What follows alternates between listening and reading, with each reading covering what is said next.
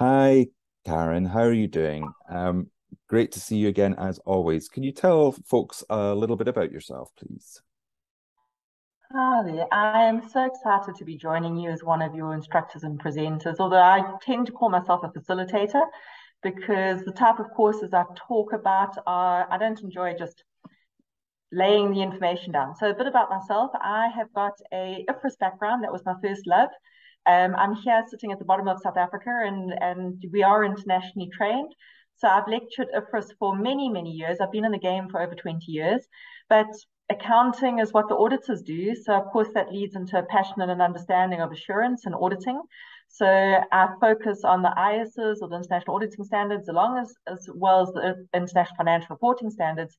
And the glue in between those two, which is really my personal love and, and my, my passion, is ethics. So I spend my time between the three areas of accounting, assurance, and ethics. Tax doesn't balance. It's not something I've enjoyed since the last millennium. So I'm really in the other space and I, I really enjoy it with 20, 20 years of uh, teaching, practitioners, counseling, dealing with students, dealing with directors, dealing with businesses. And I believe that I bring the theory, they bring the practical, and between us, we have the solution.